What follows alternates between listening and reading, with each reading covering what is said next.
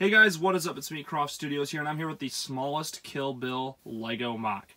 Today I am here with the bride meets Hattori Hanzo. And this happens when basically she's looking for a sword, and Hattori Hanzo makes the best swords in the world pretty much, and she looks for someone to make her a sword, and obviously her reference is Hattori Hanzo. So she goes here, and she and he actually took an oath to never make swords again, but he did it in, in with the exception for her, um, and she's going to use the sword basically to slay her enemies and do what she needs to throughout the movies. I don't want to spoil too much if you haven't seen the movies. So we'll get straight into the set. I would include two characters in this set, being the bride and Hattori Hanzo, obviously. So the bride is our first character, which is Beatrix Kiddo from Kill Bill, and she's a very simple minifigure. She's just wearing her normal clothes, and she has a um, kind of emotionless expression. And then our second minifigure would be Hattori Hanzo, who is the guy who makes the sword. You can see his outfit right there and his face, has black hair. So very simple minifigures, but they definitely get the job done. So let's move into our actual model.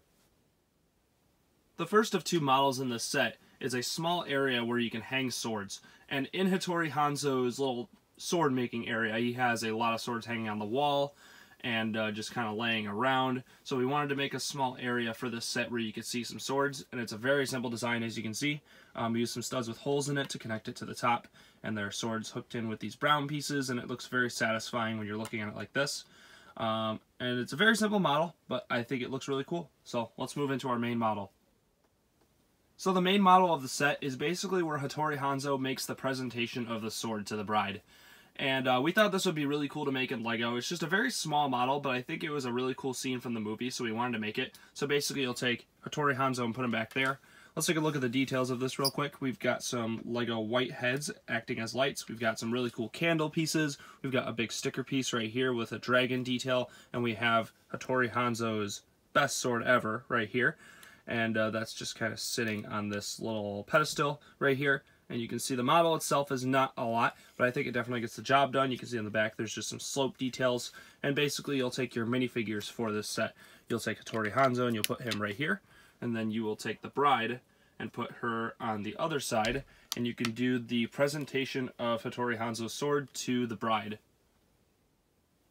Overall, I think we did a good job at representing the movie scene and making it somewhat of a playset in a way. This would definitely be the smallest of the Kill Bill sets if they ever did make them. Um, it would include an exclusive minifigure with Hattori Hanzo, and it would obviously include the bride. And in reality, it would probably include a better sword um, for Hattori Hanzo's sword, since it is like a specially made sword for her but in this case we just gave her one with uh, we just gave her one of the black katana pieces. But overall I think the set looks really cool and uh, it would be a really cool uh, addition to a wave of Kill Bill sets. We've also got a whole playlist of those if you haven't seen them. We've released a few of them already so I highly recommend you check it out if you enjoy this series. So I hope you enjoyed the video guys. Thanks for watching. Um, I really appreciate the support on my MOCs so thanks for watching guys. I'll see you guys soon